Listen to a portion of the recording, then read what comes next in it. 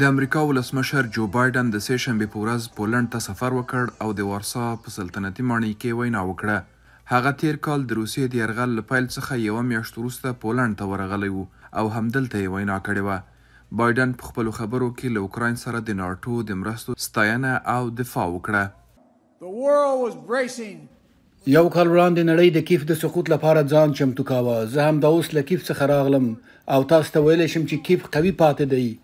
کیف ویاړلی پاتې دی کیف لوړ پاتې دی او تر ټولو مهمه دا چې کیف آزاد پاتې دی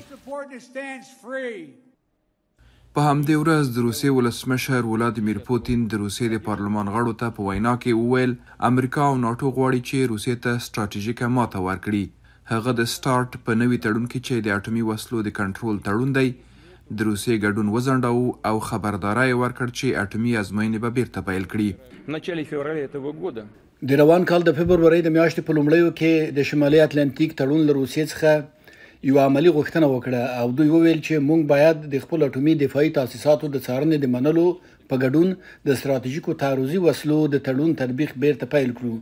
زه نه پوهیږم چې دا څه وبولم څه یو بې معنا تیاتر بایډن د روسیې خلک په مستقیمه توګه مخاطب کړل او ټینګار یې وکړ چې لویدیځ د دوی دښمن نه دی.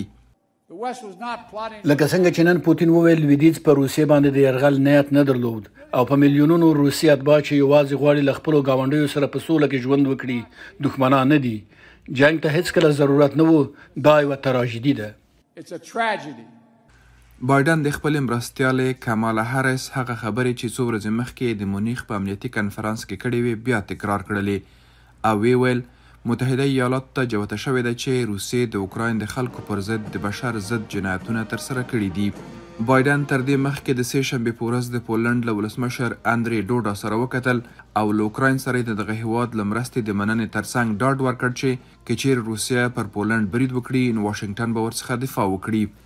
پولنډ یو اعشاریه پنځه میلیونه اوکرایني کډوال منلي دي او اوکراین ته یې د میلیاردونو ډالرو په ارزښت وسلې او بشري مرستې ورکړې دي. سپینې ماڼۍ د مسکو هغه ادعا رد کړه چې ګواکې بایډن د دوشنبې په ورځ کییف ته تر تګ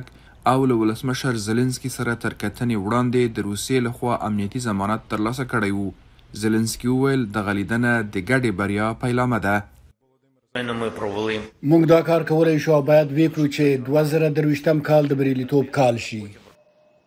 د چهارشنبې په ورځ واشنګټن ته تر راستنېدو وړاندې به بایډن د ناټو په ختیځه پوله کې د دغه تړون د غړو هېوادنونو له مشرانو سره هم وګوري. مومن خان واحدي، د امریکا غږ، واشنګټن.